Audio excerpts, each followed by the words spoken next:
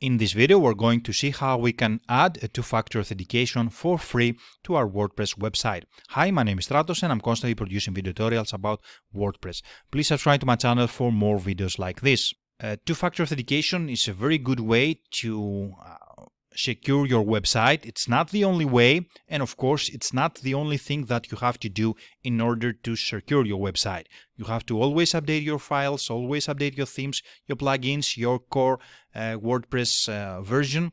You have to do many things in order to not uh, make your site uh, vulnerable to attacks. But uh, even if you do, it's not a guarantee that you're not going to be hacked. But if you're going to follow all the rules, in most uh, cases, you're uh, pretty secure. You're not 100%, but you're uh, pretty good with that. So let's see what we can do with the two-factor authentication. Uh, first, we're going for the plugins and we're going to click Add New. Keep in mind that you also need uh, something to authenticate that this is you that you're doing all of that. So you will need your mobile phone to be with you. And let's search for WordFence. If you don't know WordFence, it's basically a very good plugin for security and it's the most popular one at this time. WordFence. I have already created a video for WordFence and you can see it in my channel. So I'm going to install that and here I have the WordFence login security as well, and I'm going to install that too. Okay, I'm going to activate now.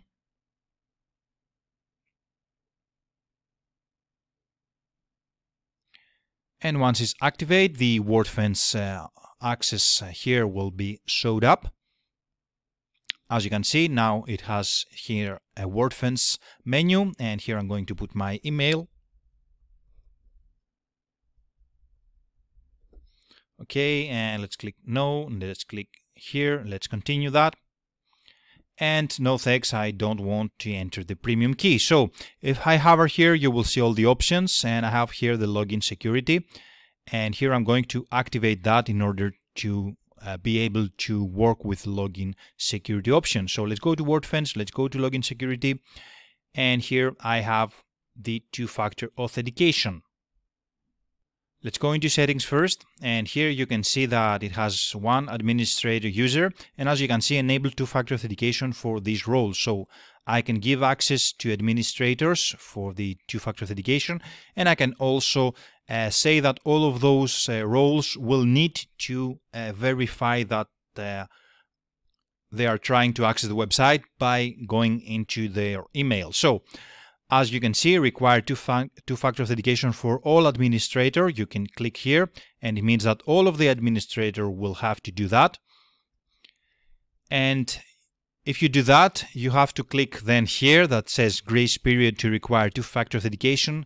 And this will mean that it will give a little bit of uh, time, some days, that the administrator can go and set up the two-factor authentication. So you will inform them and it, they will also get a notification from here. So I can click here and here it says uh, when I want this to be enabled. So after that date, they will not be able to log in without the two-factor authentication. So I'm going for 9 here, and here I can send notifications. Now, I cannot do that in this because I don't have any other uh, administrators, but of course, if you do have, you can send the notification for those to be informed. After that, you can set it to allow remembering the device for 30 days, and if it's not enabled, they have to do the extra step every time they're trying to log in. Uh, I would like here to have something to change the 30 days to uh, a week or something, but keep in mind that this is a free plugin. Also, as you can see here, you can set the required two-factor authentication for XML RPC call authentication. If you don't know what this is, basically it uh, allows WordPress to send data over the HTTP, and there are some uh, things that are using that uh, at this time. I think that the plugin uh, Jetpack, as it says here, Jetpack is using it. There are maybe some other plugins that are using it. Uh, someday it will be disabled all at all uh, because it will use the WordPress API to send all the data that it needs. Uh, but in most cases, you will not use this, so you can disable that. So uh, just be caution if you disable that, check your website, check everything that it works. If you're using a mobile phone that has the WordPress app installed, just try and see if it's working. If it's not, then go ahead and uh, uncheck this and it will should it should work okay. So after that, as you can see, we have the allowed uh, IP address and this IP address can bypass the two-factor authentication. So if you have a static IP address, you can just put it here and then you will not uh, need to do any other steps. After that, we have the uh, reCAPTCHA, which are not going to use that. And this is all that I have, so let's save that. And as you can see, the save is up here in the settings, is not down here. So if you're going to search for it, you will find up here. Let's go back to the two-factor authentication, and here we have the QR code. So as it says here, the two-factor authentication uh, can work with uh, apps like Google Authenticator, Free OTP, and Authify, and here is the full list. So you can click here and here except for the instruction as you can see here we have uh, the apps that you can use many of those are available for iOS and Android and you can choose what you want all of those are working fine with uh, this plugin uh, I use uh, Google Authenticator in most cases, so I'm going to close that. And here I'm going to open the Google Authenticator app from my mobile phone and I'm going to scan the code. Once you scan the code, you just have to add the account. So click the add in your mobile phone. Next step is for you to download uh, this recovery codes. It says optional, but uh, for me is something that you must do in case you lost your mobile phone and you need to gain access to your WordPress website. So save file, yes, save file, and be sure to put that somewhere that you only know where it is and this is for you to be able to recover the access. So save that. And last step is to put here the number that your mobile phone is giving you. Once you click the add account, it gave you a six digit number. So go ahead and put here uh, for me is this one. Of course, it will change every time. It's not the same. And let's click activate. Once you do that, now we, you have the two-factor authentication activated. You can also deactivate it every time that you want.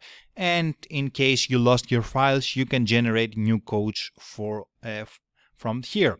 So I'm going now and I'm going to log out. And I'm going to log in again. And now it says the two-factor authentication code. Once it says here, you can go uh, over the uh, the question mark to get instructions.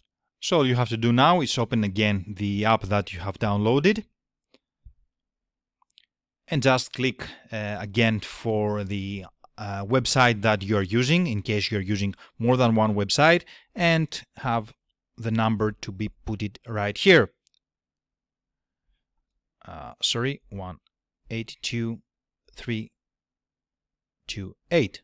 So I'm going to click login and once I do that I'm now inside my uh, WordPress website. If uh, for some reason you cannot get access from here, you can use one of the codes that you have in your TXT. So that was all. I think it's a very easy thing to do and I think it's something that you need to do in every website that you have. This is something that also the uh, banks are using. Of course, it's not the same uh, feature, not not the same thing, but it's a two-step authentication just for an extra security. So thanks for watching, guys. Please subscribe to my channel for more videos like this, and I will see you all in the next video. Bye.